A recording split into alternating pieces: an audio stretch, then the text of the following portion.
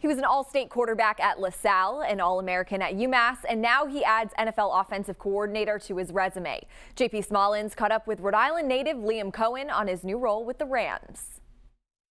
He was a member of the Rams coaching staff in their last Super Bowl appearance. Now Liam Coen will take the reins of the offense. His work in the SEC and relationship with head coach Sean McVay presenting the chance of a lifetime. It was the first really first time in my career that you weren't like following the jobs and like what's going on and who's moving where. I, we didn't care at all. We were so happy um, in Kentucky. When this one did come about, it was something that you know we were extremely interested in to begin with, and um, that does all start with ultimately my relationship and our relationship with Sean. Coen hoping to bring some new wrinkles along with him to LA that he can blend into McVay's offensive approach. You know, he wants to, to talk football and, and see some of the different things that we were able to do in Kentucky that um, maybe isn't maybe utilized as much in the NFL game. I'm just really excited about going back and learning because Matthew Stafford's now there, and they've evolved as an offense. His latest NFL opportunity built from each step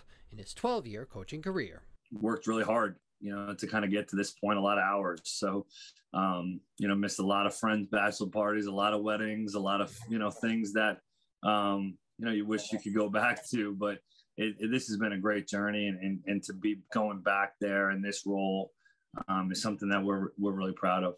The offense could even be more explosive next season. Stafford second in Los Angeles. The Rams ranked ninth in total yards last year and are expected to have wide receiver Robert Woods back from ACL surgery. For 12 Sports, I'm JP Smallins.